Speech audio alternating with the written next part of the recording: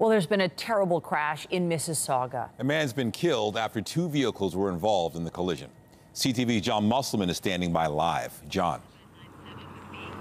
Uh, Nathan, Derry Road has been partially reopened as they continue this investigation here.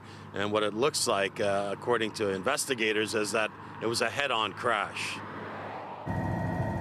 It was a devastating crash that claimed the life of a man in his 20s. A second man was transported to a trauma center in critical condition.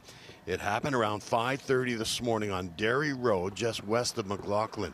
It's believed the white car was traveling westbound when it crossed the island and collided with the vehicle headed eastbound.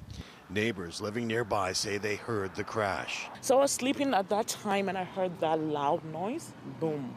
So when I heard it, I'm like, oh my God, it might have been a truck or what it is, but I knew there must be an accident or something like that. We are reaching out to the public. Anyone who may have been in the area around 5 o'clock, 5.30 this morning, who may have been driving by and witnessed the incident, or may have had dash cam video, please take a look at it. And if you see anything, please call investigators in our Major Collision Bureau. A third vehicle was also involved in this crash, but it sustained minor damage and the driver was not hurt. Derry Road has been shut down in both directions during this investigation. No names have been released yet. Derry Road westbound remains closed. They're just finishing the cleanup here. It's expected to reopen soon.